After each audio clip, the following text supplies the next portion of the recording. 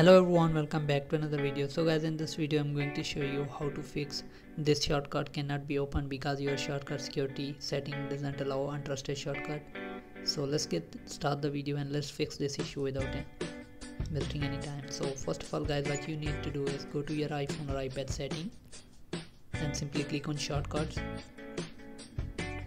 So here is the shortcut apps. Then as you can see allow untrusted shortcut. Just turn it on just click on allow. Now enter your iphone passcode. Now close the setting. Now try to add the untrusted shortcut again.